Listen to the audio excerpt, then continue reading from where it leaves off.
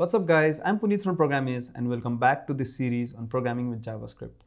In this video, we will learn JavaScript operators and how to use them with various data types such as strings and numbers. We will specially look at arithmetic operators.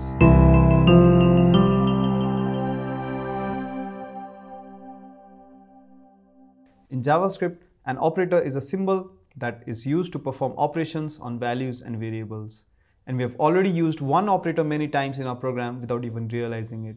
It's the assignment operator equal to. It is used to assign the value in the right to the variable in the left. Here, the Puneet string is assigned to the variable name. There are also many other assignment operators, but before we take a look at them, let's talk about arithmetic operators first.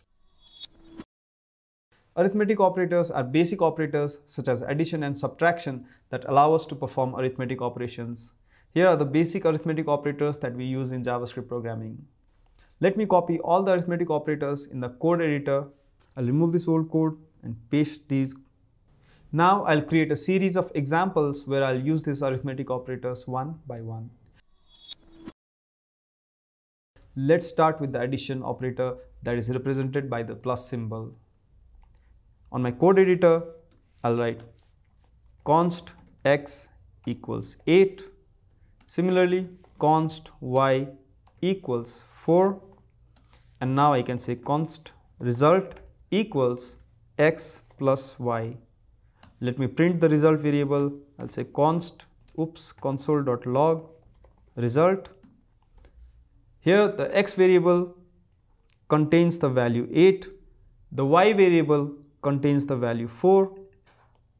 We then use the plus operator to perform the addition operation and the result is stored in the result variable by the assignment operator equals. Let me run this code and you can see that I got 12 which is the sum of 8 and 4 as a result.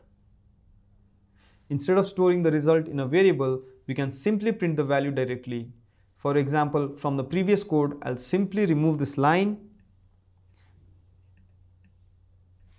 and on line 13 I can just say x plus y directly when I press run I get the same output as before.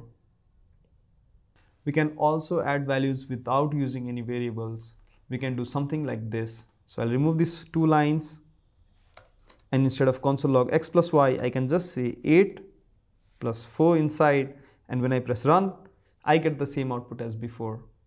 Let's now get back to our original code. So let me undo some of the things I've done. Alright, here we are adding two integer values. We can also add integers and floating point values. So I'll change this value from 8 to 8.5 and when I press run, I get 12.5. That means I can combine integers and floating point values while adding. So far we have been using the plus operator with numeric data where it simply adds two numbers. However, the plus operator can also be used with strings. When used with strings, the plus operator concatenates or joins two or more strings together. Let's see an example. I'll first create two string variables. So let me remove this old code. I can say const text1 equals JavaScript. Similarly, const text2 equals programming. Now let's use the plus operator with these two strings. So I'll say console.log text1 plus text2 and now when I press run as you can see I get the output as JavaScript and programming joined together. Now I want to include a space between the two strings.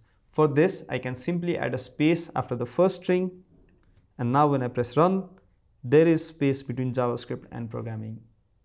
We can also join multiple strings using the plus operator. Let me show you. So I'll remove this old code and I'll just say console.log javascript oops then plus then is then I can say fun. Here I'm joining three strings together. Let's run this code and as you can see the final output contains the three strings joined together.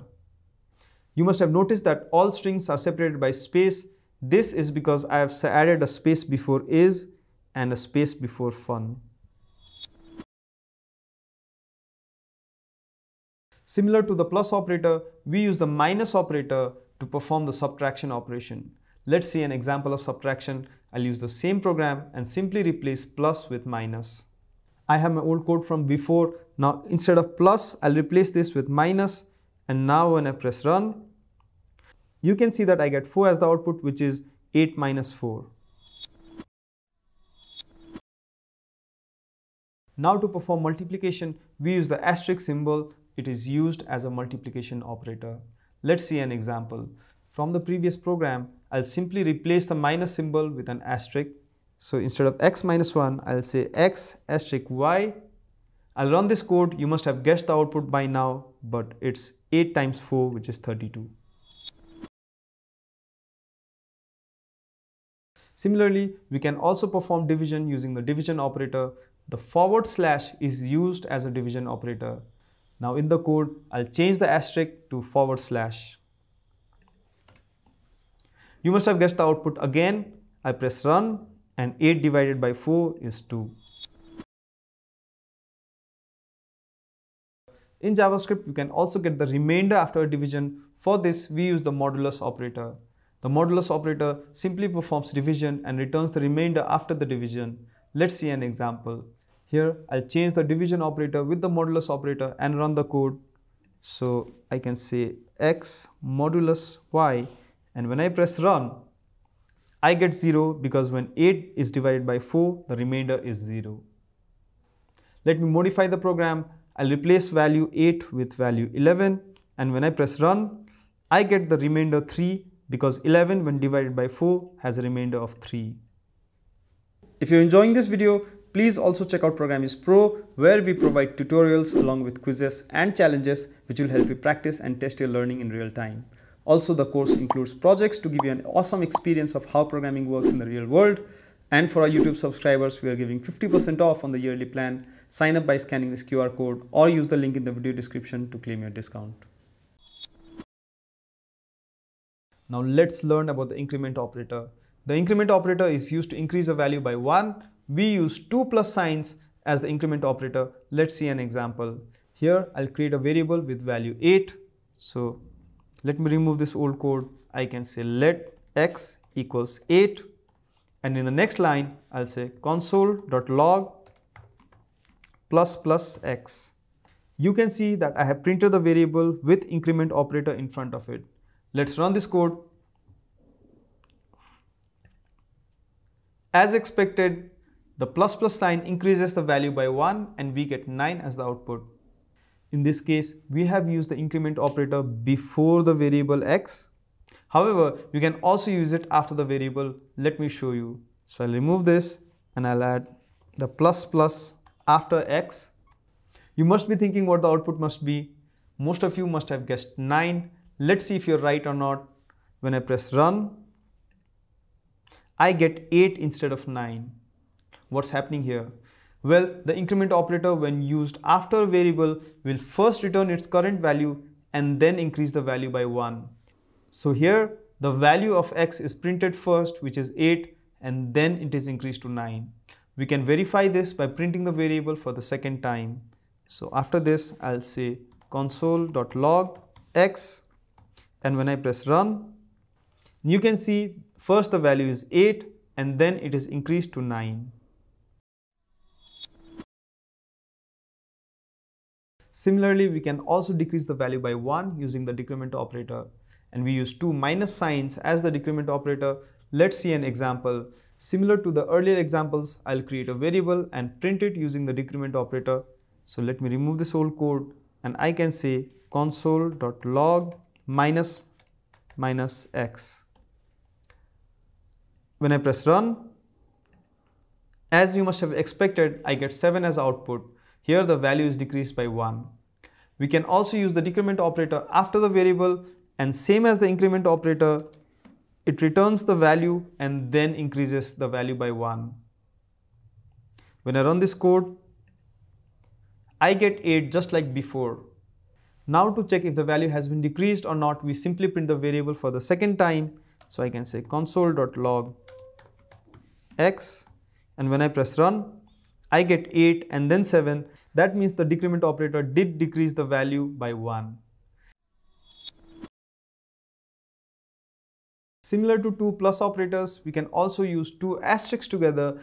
The two asterisk operator together is known as the exponential operator. It is used to compute the power of a number. Let's see it with an example. So I'll remove this old code and I'll say const result equals x asterisk asterisk 2 and let me console log the result. In this program, the left side of double asterisk is the variable x which has the value 8.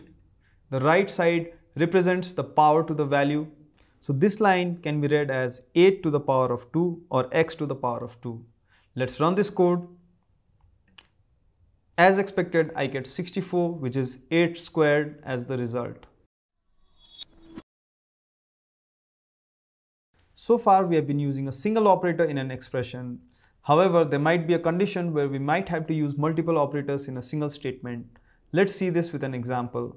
So I'll remove this old code and I'll say const result equals 4 by 2 plus 3 times 5 minus 1.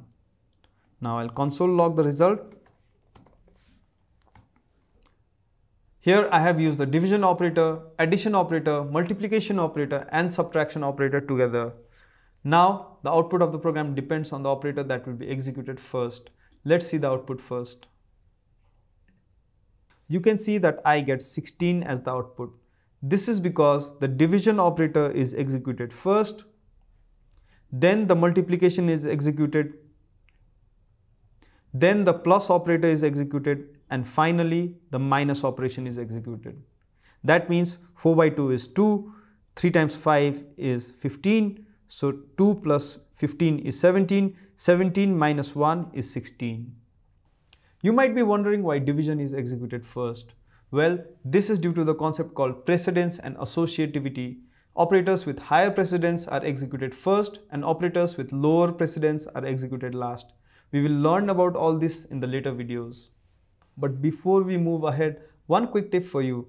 If we have multiple operators in a single line, you should build a habit of using parentheses to make it easier to understand the code. For example, I'll change the above code and I'll add some parentheses to make it clearer. I can add a parenthesis here, similarly here. And now you can see that the code looks much cleaner. Okay guys, we need your support to keep these types of content free for all users. YouTube really likes engagement on the video, so leave a comment below, press that like button and hit subscribe if you haven't already. Let's get the engagement score high up so that more people can discover and enjoy our courses. Now let's use the operators that we learned in this video to create some interesting programs. Suppose you're a university student and you need to pay $4,535 as tuition fee for the next semester. The college is giving a discount of 10% on the early payment of your tuition fee since it's a great offer, you decided to make an early payment. Now, can you find out how much money you have to pay? I'll initialize a variable called initial fee and I'll put the value of 4535 into it. Then let me save the discount percent in a variable called discount percent and that's obviously 10%. Now I can say const discount amount equals discount percent divide by 100 times the initial fee. Now the total fee will obviously be or the fee that you pay after the discount will be the initial fee minus the discount amount oops it should be amount and now I can say console.log let me use the string interpolation so I'll say fee after discount is dollar braces total fee and now when I press run you can see that the fee after discount is $4,081.50. Let's see one more example. Suppose you go on a run every other day, exercising is obviously good for health, and you cover a distance of about 5 kilometers a day. Now you want to convert that distance from kilometers to miles and see how much distance you've covered in miles. You could create a program like this. So here I'll remove this old code first. I'll start by storing the 5 kilometer value in the variable km distance. So I can say const km distance equals 5. Then we know that 1 kilometer is equal to 0.621371 miles. So I'll store this conversion ratio in the conversion ratio variable. I'll say const conversion ratio equals 0.621371. Now to calculate the distance in miles, we simply multiply the distance in kilometers with the conversion ratio and store the value in miles distance variable. So I can say const miles distance equals km distance asterisk conversion ratio. Now when I print the miles distance variable, I should get the distance in miles. So this time I'll use string concatenation. Uh, I can say console.log u covered covered then space plus miles distance plus miles. As you can see, when I press run, then the kilometers is converted to miles. Now to practice what we have learned. Here's a programming task for you. Create a program that converts degrees Celsius to Fahrenheit. The formula to convert Celsius to Fahrenheit is Fahrenheit equals Celsius times 1.8 plus 32. What you can do is store the value of Celsius value in the Celsius variable, then use the formula Fahrenheit equals Celsius times 1.8 plus 32 to convert to Fahrenheit and display the result.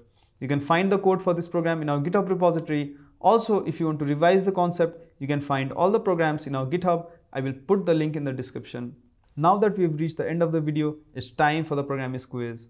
What is the output of the following code? Comment your answer below. Happy programming!